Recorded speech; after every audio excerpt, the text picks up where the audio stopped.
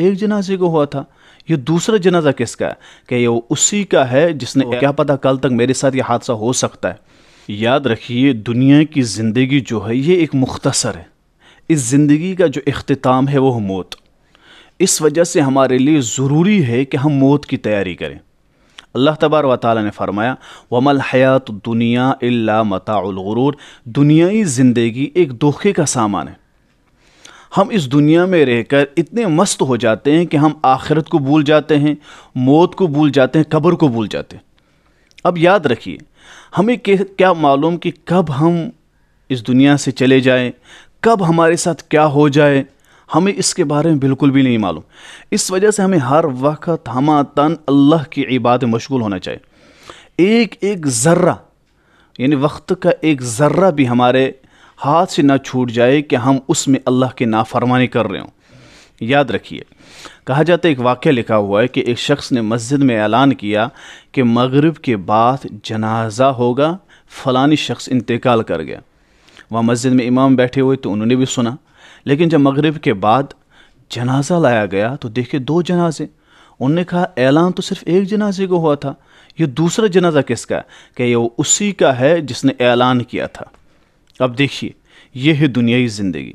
यानी इंसान को नहीं मालूम कि अगर हम आज दूसरे का जनाजा पढ़ रहे हैं, कल मेरा पढ़ा जाएगा, अभी मेरा पढ़ा जाएगा। अगर मैं अभी देख रहा हूँ कि वो मर रहा है, क्या पता कल तक मैं ज़िंदा रहूँ कि नहीं?